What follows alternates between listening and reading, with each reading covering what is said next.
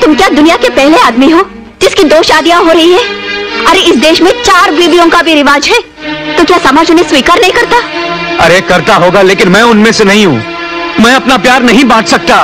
बांटना कैसा? घर में भाई हो बहने हो माँ बाप हो रिश्तेदार हो वहाँ तो प्यार नहीं बढ़ जाता।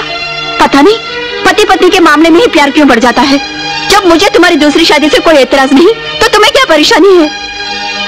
दामा जी वैसे बेटी बात ठीक कह रही है। जब लक्ष्मी खुद तुम्हारे दरवाजे पे चल कर आ रही तो तुम क्यों दरवाजे की कड़ी लगा रहे हो? आने दो ना लक्ष्मी को। लक्ष्मी अकेली नहीं आ रही। आपकी बेटी के लिए सौतन भी ला रही है। लाने दो ना। दोनों खुशी खुशी बहनों की तरह रहेंगी तुम्हें क्या फ़र्क पड़ता है? काजल आप ही की बेटी है ना ससुर जी? क्यों ऐसे क्यों पूछ रहे हो? इसलिए पूछ रहे हैं कि कोई भी सगा बाप अपनी बेटी की ज़िंदगी में इस तरह आग नहीं लगाता। तुम तो चुप रहो यार। दो करोड़ लिखने के लिए आगे कितने सीफर लगाने पड़ते हैं कुछ पता है तुमको? इन दो हाथों से सारी ज़िंदगी अगर नोट उठाती रहोगी ना तो ये हाथ थक जाएँगे। मगर नोट नहीं खत्म होने वाले। तुम्हारा दामाद तुम्हारी बेटी और बच्चे सारी ज़िंदगी ऐश करेंगे इसलिए ज़्यादा कुड़कू मत करो हाँ। पर इन्हें हमारी परवाह कहाँ है? कभी ये सोचा भी नहीं कि बच्चों को अंग्रेज़ी स्कूल में भेज दे बीवी के लिए छोटा मोटा घर बनवा दे या क्या चार गहने खरीद के दे दो उसे नहीं ऐसा कुछ नहीं सोचते। पता नहीं ऐसे बेकार आदमी शादी क्यों करते हैं। हाँ हाँ बेकार हूँ। बेकार आदमी हूँ मैं। और और इतना ही कमा सकता हूँ और इसी में गुजारा करना पड़ेगा समझी? ज़्यादा बकवास की ना तुम्हें। जानवी बेटे देर हो रही है। जी।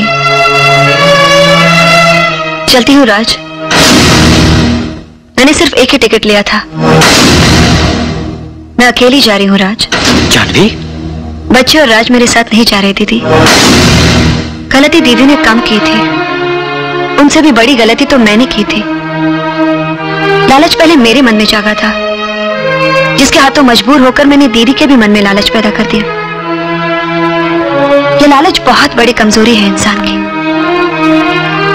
जो चीज़ आँखों को भा जाए दिल उसके पीछे भाग पड़ता है, और फिर हम दिल के पीछे भाग पड़ते हैं। गलत है ये। नहीं करना चाहिए ऐसा। और फिर प्यार भी कभी खरीदा या बेचा जा सकता है भला। ये मत समझना राज कि मेरा तुम्हारे लिए प्यार कुछ कम हो गया है। बल्कि अब तो मैं तुम्हें और भी चाहने लगी हूँ। लेकिन इस सारे खेल में सबसे ज़्यादा सहन तो तुम्हें ही करना पड़ा। मैंने ज़बरदस्ती तुम्हें अपने आप से बाँध कर रखा। लगातार मैं अपने अंधे प्यार के खातिर नाइंसाफी करती रही। और लगातार तुम इंसाफ के खातिर अपने प्यार को कुर्बान करते रहे। मगर अब कुछ मत बोलना। देखा है मैंने। देखा है कि कितना प्यार करते हो तुम दीदी से। और वो तुमसे।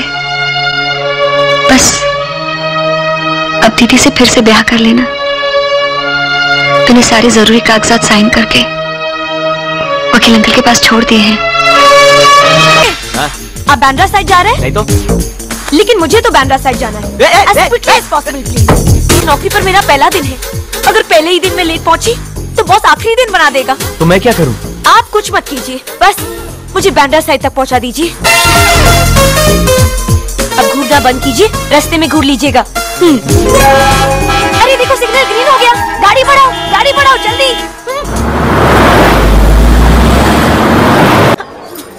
इसे खोलो ना।